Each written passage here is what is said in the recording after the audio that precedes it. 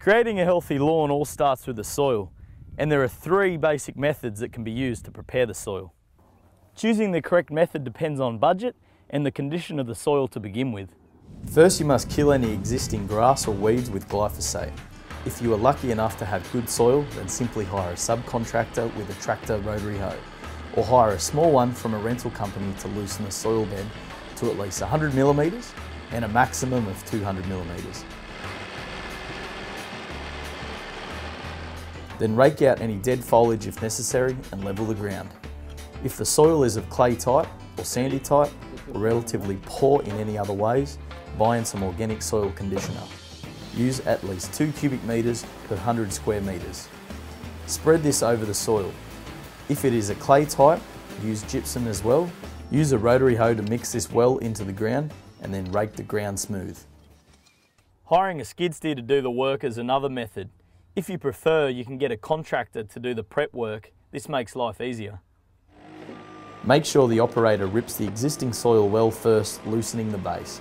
A hard compacted subsoil is the last thing a lawn needs.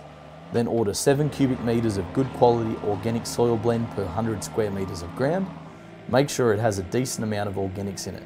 Spread this with a skid steer, making sure the finish is smooth. In some areas, you may need to rake smooth with the back or front of the rake. Turf is the best and safest way to install a lawn. Laying turf is really easy. Simply lay one roll around the outside and then fill in the area with turf, all going one way.